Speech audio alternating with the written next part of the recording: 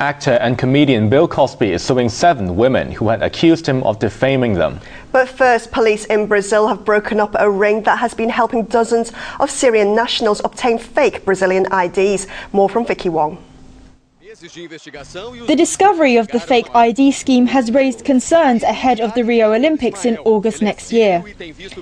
According to Brazilian authorities, the scheme involved arranging false Brazilian birth certificates for Syrian immigrants, who then used the fake certificates to obtain valid Brazilian documents, including passports and national ID cards. The police chief responsible for the case said an extensive investigation was being carried out, as this was a matter of national security.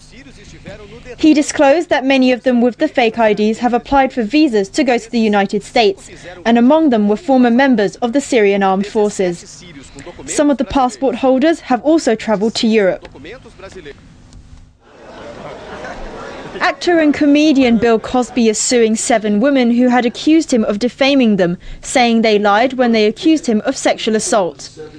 The countersuit filed in U.S. District Court in Springfield, Massachusetts, contends that the women defamed his honourable legacy and reputation by accusing him of sexual misconduct. More than 50 women have come forward to accuse the actor, best known for his role in the television hit The Cosby Show, of sexually assaulting them after plying them with drugs or alcohol. Uh, warm, Cosby no has rain. repeatedly denied wrongdoing and has never been criminally charged.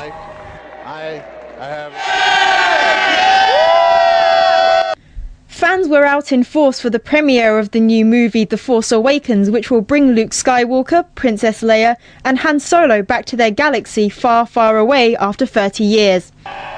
Fans screamed and shrieked as some of the memorable characters strutted the red carpet. There was BB 8, R2D2, and C3PO, as well as stormtroopers looking smart in their white uniform. Disney is guarding details about the plot of Force Awakens, and the secrecy has sparked speculation, particularly about the fate of Skywalker, who has been absent from trailers and posters promoting the new film. The movie opens in American theatres on the 18th of December.